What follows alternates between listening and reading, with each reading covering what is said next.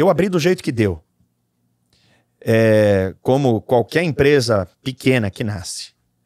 Não tinha tanta verba para contratar profissionais mais elevados para fazer um monte de coisa lá. Então, fiz do jeito que deu, abriu, deu certo, com muita verdade, muita verdade mesmo. Você entra lá na primeira barbearia, ela tem ainda minhas bo minha bota de motocross antiga, um wakeboard, porque eu tinha uma parede e eu não tinha o que colocar. tinha acabado o dinheiro. Eu peguei as coisas que tinha em casa, falei, dá aqui essa bota, isso aqui combina com o negócio, e coloquei lá. Então, isso é muita verdade. Quando eu fui abrir a minha segunda unidade, o negócio já estava muito bem estabelecido, apesar de pouco tempo depois, já tinha caixa, então eu podia ir lá e. Quanto tempo depois? A primeira unidade inaugurou um ano depois da. A segunda unidade inaugurou um ano depois da primeira unidade, mas eu comecei as obras com seis meses. Hum, foi rápido. Foi rápido. É uma, é uma loja muito grande que a gente tem aqui uhum. na Faria Lima, com mais de 700 metros. Então demorou a obra. Foi uma obra grande na época. Só que aí eu tive a oportunidade de abrir a terceira loja. E isso eu vou falar da criação da marca. Eu sabia o que eu estava criando? Ah, sabia porque eu fiz logo, uhum. aquele caminhozinho. Mas marca, marca mesmo? Não.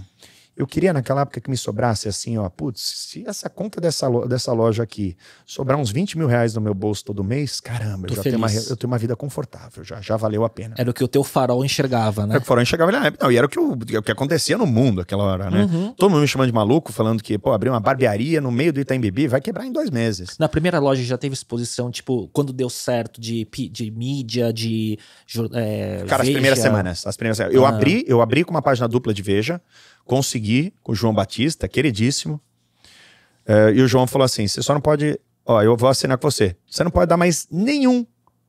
Nenhuma informação sobre a Corleone. O furo é nosso. Uhum. Uma semana, antes de abrir uma semana, você avisa a gente e nós vamos publicar no sábado anterior. Explosão. Naquela época, mídia impressa. Sim. Era não, não apenas é, a, a não apenas a, o alcance dela, mas também a autoridade. A relevância. Abrir com o negócio lotado já, porque, pô, já, já tava na internet. As pessoas falaram, ah, na Veja, vamos lá. É. E aí foi assim, Globo, Record News, foi assim uma coisa de TV muito, muito, muito e grande. demanda animal. Então isso começou, foi logo do começo.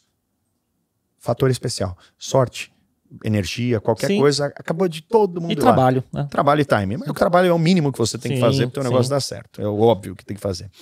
E aí, quando eu fui abrir a terceira unidade, um ano e meio depois, a minha arquiteta falou assim: ótimo, mas eu tomo por base a primeira ou a segunda loja? Eu falei, ué, é a mesma são coisa. São bem diferentes. Né? Falou: são bem diferentes arquitetonicamente. Os teus, os seus sinais, uma, uma tem fórmica, a outra tem madeira, uma tem placa que você comprou no Mercado Livre, mas a outra tem a tua bota de esqui que você realmente usou.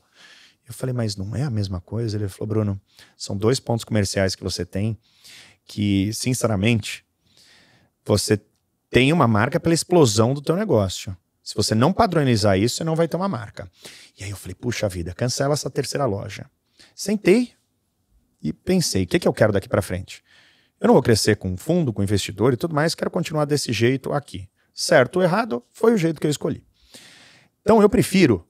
Como é que eu vou crescer aqui a minha, a minha uh, empresa? Eu vou ter poucas lojas por enquanto. Pelo menos até que eu decida fazer algo, eu vou ter poucas lojas. Assim como eu tenho hoje ainda. Uhum. Que, que eu preciso? Uma marca forte. Vamos estudar sobre marca. E aí sim, eu entrei com todo o projeto de com Fernando De Grossi, que faz tudo para mim, meu amigão. Não há designer melhor no mundo de marcas e embalagens do que, que ele. criou suas marcas. Todas, ah. todas. Ele é um gênio. Ele é um gênio. Arroba F De Grossi. Vejam, esse cara é um gênio. Inclusive, estou criando essa minha nova agora da, da próxima semana. É... Que para quem não sabe, aqui a gente estava falando com as câmeras fechadas, mas depois o Bruno dá um spoiler mais para frente, que é Vamos. é ligado à tecnologia.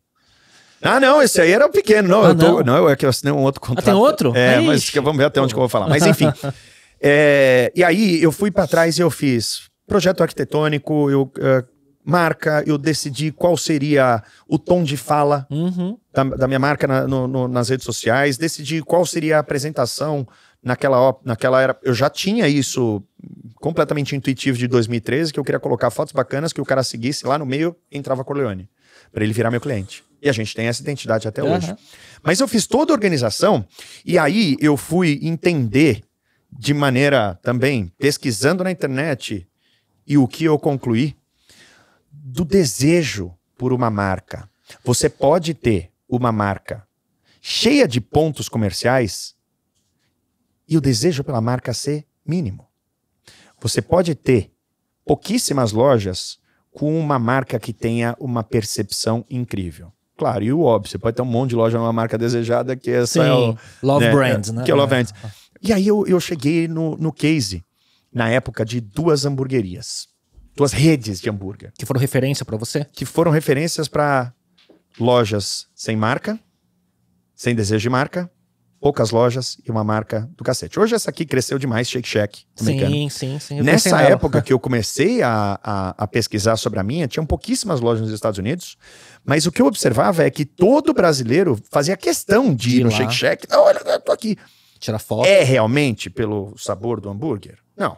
Você já foi numa loja de Shake sim, Shack? Sim, sim. É uma zona. De tanta gente tem lá, tá sujo. O cara grita teu nome lá. Você corre lá, dá licença, aí você fala, nossa, deixa eu ver se eu consigo sentar numa mesa. Ó, oh, o cara tá saindo, corre lá. Você coloca uns pedaços de alface. A experiência também não é lá grandes coisas. Mas a força da marca. As pessoas saem, saem de lá, desejo, compram boneco, é. compram tudo. Então aquilo é desejo, tá? É... Essa outra, obviamente, não vou dizer qual que é, mas é uma grande rede de fast food brasileiro que Cara, tem muito tempo, tem muita loja, mas você não vê alguém falando, putz, vamos lá naquele lugar? Uhum. Tinha, até pouco tempo atrás, um produto de outra marca que era um carro-chefe do negócio deles e que aí você descobriu que iam lá, consumiam esse milkshake e tomam milkshake e falavam, tá bom, dá um hambúrguer. Qual é o grande problema de você manter a, o desejo, né, o consumo da sua marca lastreado em outra? Qual que é o grande problema? Alguém Você... vai lá e toma o seu produto. Sim. Alguém paga mais no contrato. E foi o que aconteceu. E que foi o que aconteceu. Porque você está falando de uma rede nacional e a rede internacional fez isso e levou essa marca para fazer a bebida deles. Então. Né? Exatamente. então o que eu pensei? Cara, naquela época tinha pouca, tinha pouca é, é, loja ainda do Shake Shack. Eu pensei, eu quero tentar criar esse mesmo desejo de marca pelo Shake Shack. Aí virou tua chave. E aí virou a chave, passei um ano mergulhado nisso, as lojas rodando, não fiquei lá só, ah, tô estudando. Aquilo também não dava tempo de fazer é, muita coisa, mas vender, a organização né? de tudo, e eu não quis, ah, vou contratar um consultor. Ah, porra, ninguém sabe melhor da tua empresa do que você mesmo.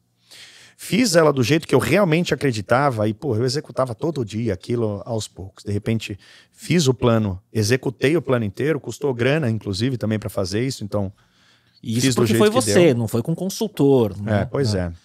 E aí passei a executar esse plano. Então todas as lojas passaram a ter a mesma identidade, uhum. é, passei a, a padronizar experiência. a experiência. Ah. Hoje, se você entrar numa loja minha, tem pelo menos 15 experiências mapeadas. Mapeadas, as quais eu pago mensalidade por elas. Ah. Outro dia eu, falei numa, eu falei numa, eu falei numa, outro dia numa palestra, né? E aí alguém perguntou assim para mim, Bruno, mas o que é experiência para você? Meu Deus do céu, o que eu respondo? Experiência é aquilo que o seu cliente não percebe, não identifica e o seu concorrente não consegue copiar. Tem um concorrente de negócio físico, ele só copia o teu projeto arquitetônico, mais nada.